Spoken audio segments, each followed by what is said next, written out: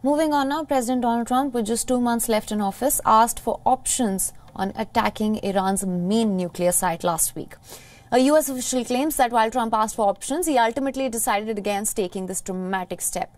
Now, according to reports, Trump made the request during an Oval Office meeting on Thursday with his top national security aides.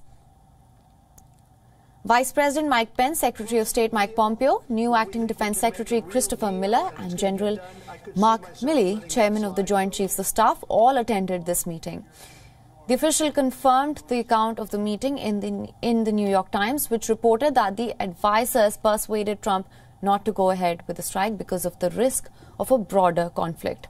The White House has declined to comment on the meeting so far, and Trump's request for options came a day after UN atomic watchdog reports showed that Iran had finished moving a first cascade of advanced centrifuges from an above ground plant at its main uranium enrichment site to an underground one.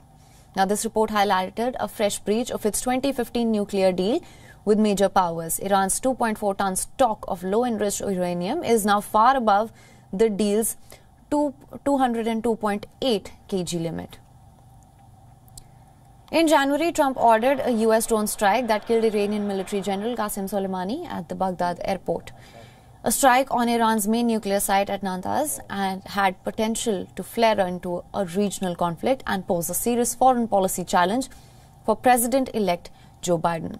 Now, Biden's transition team, which has not yet had access to national security intelligence due to Trump's administration's refusal to begin the transition, declined to comment for this story.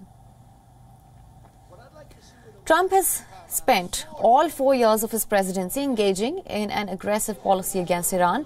He withdrew in 2018 from the Iran nuclear deal negotiated by his Democratic predecessor, Barack Obama. Now, Trump also imposed economic sanctions against a wide variety of Iranian targets.